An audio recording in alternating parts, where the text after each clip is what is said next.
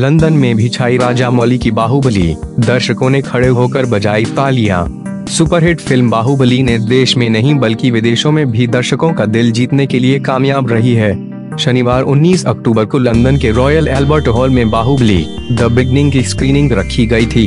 इसके बाद वहाँ मौजूद ऑडियंस का रिएक्शन देखने लायक था। एस एस राजा मौली के निर्देशन में बनी बाहुबली द बिगनिंग पहली नॉन इंग्लिश फ़िल्म है जिसे 148 साल पहले शुरू किए गए द रॉयल एल्बर्ट हॉल में दिखाया गया। फ़िल्म में कंपोजर एम एम की रावनी द्वारा दिए गए बैकग्राउंड स्कोर को रॉयल फिलारमोनिक ऑर्केस्ट्रा ने परफॉर्म किया।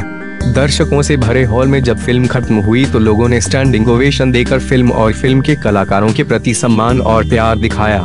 बाहुबली के ऑफिशियल ट्विटर हैंडल ने स्टैंडिंग ओवेशन की एक वीडियो शेयर की है। कैप्शन में लिखा है रॉयल एल्बर्ट हॉल में स्टैंडिंग ओवेशन जो लोग यहाँ इस इतिहास, बाहुबली द बिगनिंग को दोबारा से जीने के लिए आए, उनको ढेर सारा सम्मान.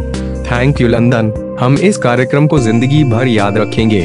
बाहुबली की पूरी टीम इस वीडियो में फ़िल्म के actors Prabhas, Rana Daggubati, Anushka Shetty S S Raja film audience की तालियों के बीच स्टेज पर एंटर करते हुए नज़र आ रहे हैं।